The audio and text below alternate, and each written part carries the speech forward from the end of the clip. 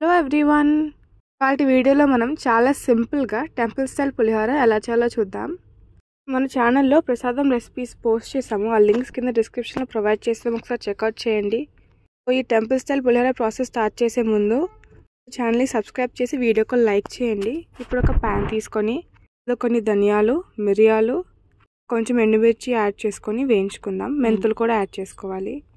ఇలా కొంచెం golden brown colour లాగా వేగిన తర్వాత మనం దీన్ని ఫైన్ పౌడర్ లాగా గ్రైండ్ చేసుకొని పెట్టుకోవాలి.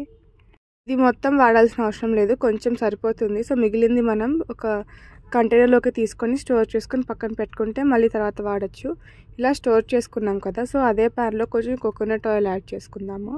ఇప్పుడు ఇందులోకి చనా దాల్ వైట్ ఉరద్ దాల్ బ్లాక్ ఉరద్ దాల్ వాళ్ళు యాడ్ చేసుకొని రెండు నిమిషాలు వేయించుకున్న తర్వాత ఇందులోకి పల్లీలు యాడ్ చేసుకొని వేయించుకోవాలి.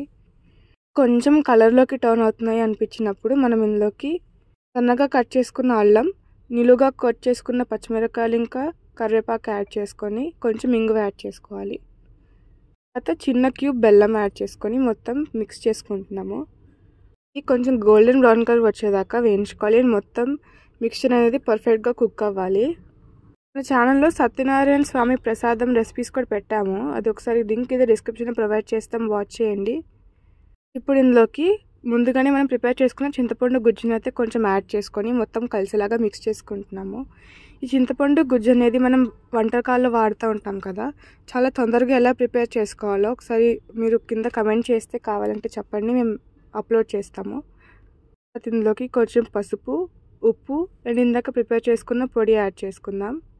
ఇలా కావాల్సిన ఇంగ్రీడియంట్స్ అన్నీ యాడ్ చేసుకున్న తర్వాత బాగా మిక్స్ చేసుకోవాలి.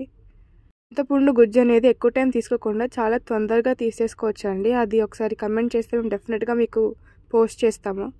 సో మనం ముందుగానే రైస్ని కుక్ చేసుకుని పెట్టుకున్నాం ఇక్కడ. ఒక బౌల్ తీసుకొని రైస్ అందులో యాడ్ చేసుకుందాం. మనం ఇందాక పల్లీలు మిక్చర్ అనేది తీసుకున్న రైస్ క్వాంటిటీ బట్టి సరిపడా ప్రిపేర్ చేసుకోవాలండి. ఇలా రైస్ని తీసుకున్న తర్వాత మనం ఇందాక ప్రిపేర్ చేసుకున్న మిక్చర్ని ఇందులోకి యాడ్ చేసుకొని మిక్స్ చేసేసుకోవాలి మొత్తం కలిసేలాగా. పులిహోర టేస్ట్ చాలా బాగుండింది. అండ్ స్పెషల్ డేస్ వచ్చినప్పుడే కాకుండా సాటర్డే సాటర్డే పూజ చేసినప్పుడు కానివ్వండి ఫ్రైడే ఎప్పుడైనా పూజ చేసినప్పుడు ఇంట్లో ఇమీడియట్గా ప్రసాదం కావాలన్నా ఈ రెసిపీ చేసేసుకోవచ్చు. ఒకసారి డెఫినెట్గా ట్రై చేయండి. అండ్ ఇదే మనం పిల్లల బాక్స్లో కూడా పెట్టేసేయచ్చు లేదా మన బ్రేక్ఫాస్ట్ కింద కూడా తినేసేయచ్చు. ఇదన్నమాట ఇవాళ yummy and tasty temple style pulihora video. మీకు నచ్చింది అనుకుంటున్నాను please do like share comment.